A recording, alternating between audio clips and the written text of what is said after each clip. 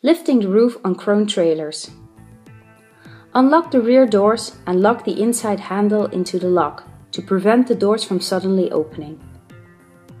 Make sure the doors are open, otherwise the roof won't open. Turn the air tap clockwise so the pressure valve is closed. Apply the lever up and down to lift the roof. This will raise about 30 centimeters.